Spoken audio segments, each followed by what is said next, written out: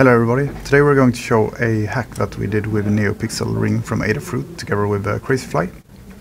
So we attached the NeoPixel ring underneath the Crazyflie and um, we connected it to the expansion header on the Crazyflie and then we used the firmware to hook in the control of the ring to the parameter framework in the firmware.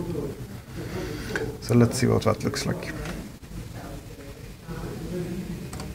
So since it's connected to a parameter framework we can control it from a controller. So by clicking one button, we change the effects.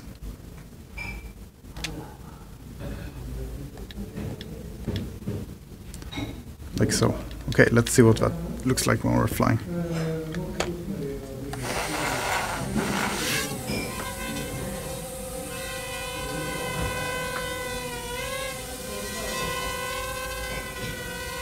We also have this dynamic effect that lights up according to how the Crazyflie is oriented.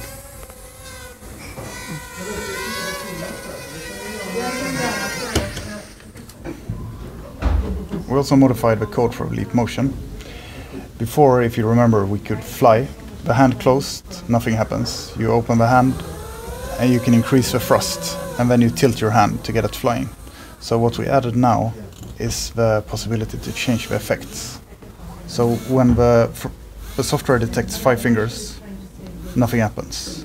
When it detects four, when I switch my thumb like that, it changes the effect. So let's see what that looks like.